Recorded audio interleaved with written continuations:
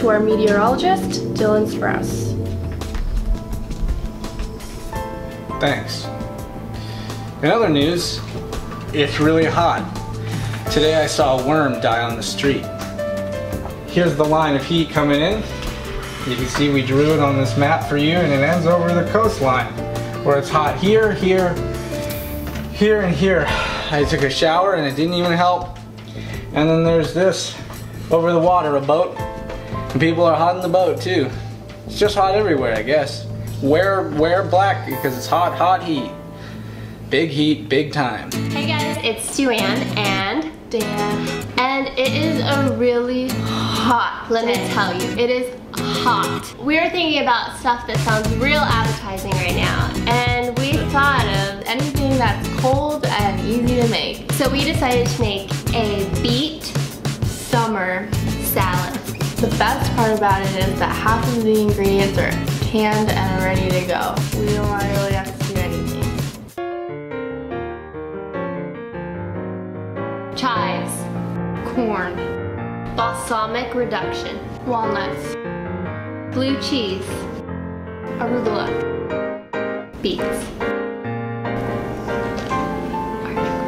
artichoke hearts. Open your beets and then go drain them.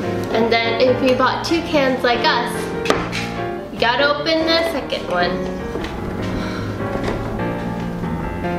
If you have corn in a can, you gotta open that too. I'll open this can of artichokes. Now that all the cans are almost open, we're almost ready to get started with the cooking process. Everything takes time.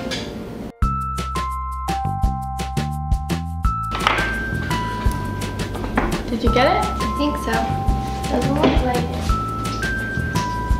I think there's a few spots that were not cut. It takes practice, but make sure you cut your can open just right so that you can get the ingredients out. Duan's gonna try one more time. Yep, I am. It's hot! It's hot in here! Finally! Sorry. So now that the main ingredients are ready, let's cut the chives. Take your chives and cut them into little coins. These are gonna go on top of your salad. You don't have to do the whole thing. Just enough. How's it smelling, Rena? It smells just like chives.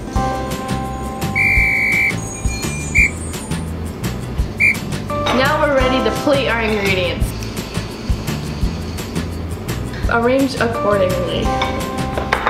If you're a vegan, you don't have to put blue cheese on your salad. But if you're not a vegan, you can put blue cheese on your salad. Make sure your hands are clean before putting your ingredients on your plate. Put the arugula on your plate. The next ingredient is the main ingredient, which is beets. Take a fork and place them on top of the arugula artfully. Make sure when you're cooking and you cough, A lot of beets is key. because it's the main ingredient. Because this is beet salad. Not to be confused with beef salad. The next ingredient is artichoke hearts. artichoke hearts. Take the artichoke hearts and try really hard not to eat them. Put them on your salad. For this part, it's preferable if your hands are clean.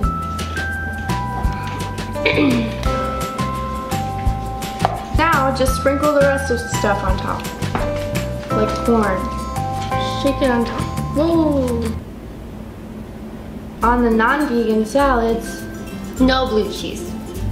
blue cheese on the non-vegan salads. Thank you. And then walnuts. Is it ready yet? No! Put chives on. Do it. Yeah. What's the last ingredient?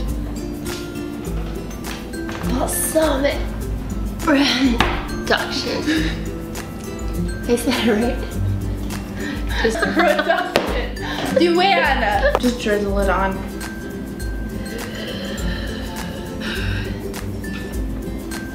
Do it to all the salads. Whoop. Bon appetit! Oh. Thanks for the grub. You're welcome. Stay cool. See you next week.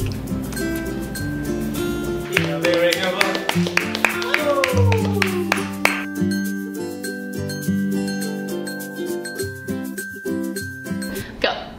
It's hot! it's hot in here! Okay, one time I have to get it. Okay, go.